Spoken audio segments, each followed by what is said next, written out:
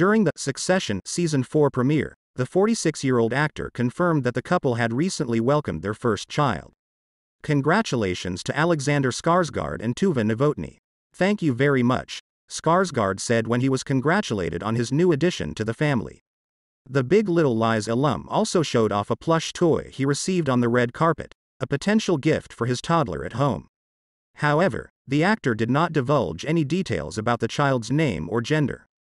Novotny, 43, was photographed pushing a stroller with Skarsgård walking beside her holding a baby wrapped in a blanket. The outing comes seven months after the Swedish actress debuted her tummy, despite the couple not officially confirming their romance. Novotny already has a 16 year old daughter, Ella, with ex Nicolai Bjerrum Lersbryggen. Back in 2013, Skarsgård spoke candidly about how his own father, Stellan Skarsgård, changed his views on fatherhood. I want to beat my father, he told Chelsea Handler. He had eight children, so it's probably time for me to rack my brains.